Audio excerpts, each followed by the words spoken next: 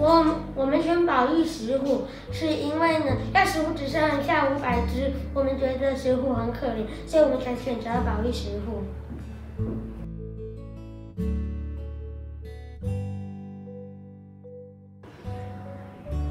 一一开始呢，我们有两种选择：宣传海报和桌游。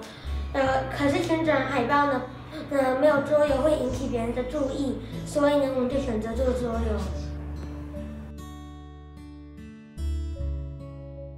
我们选择透过桌游的方式来让大家了解石虎，所以石虎，所以桌游里面就包含着石虎的各种知识。然后石，然后桌游玩法就跟大富翁很像，希望大家比较能了解它。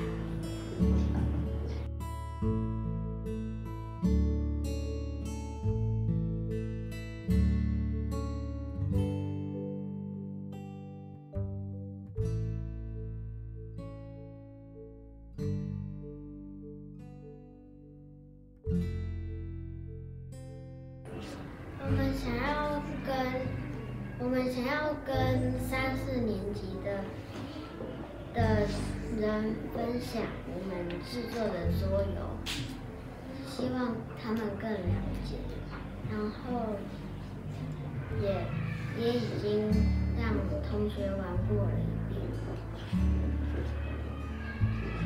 他们玩过之后，觉得你们的桌游怎么样？